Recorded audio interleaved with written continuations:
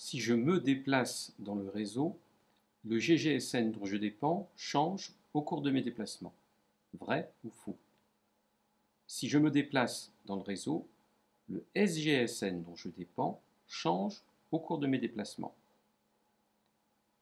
On peut utiliser n'importe quel protocole réseau, c'est-à-dire un protocole de couche 3, entre le SGSN et le GGSN.